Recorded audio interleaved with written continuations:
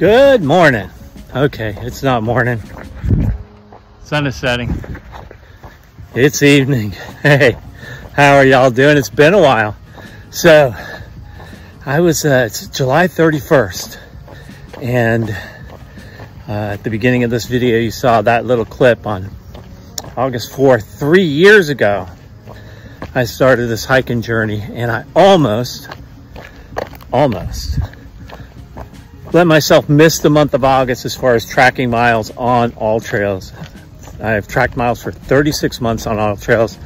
In this month, July, not really sure why, but I don't know, business and all kinds of other crap.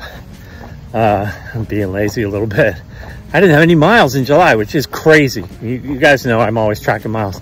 Here's the good news, back out on the trail in August, and we're starting prep already for Mammoth March in February and Florida Trail Trail Days also in February. So anyway, more videos to come.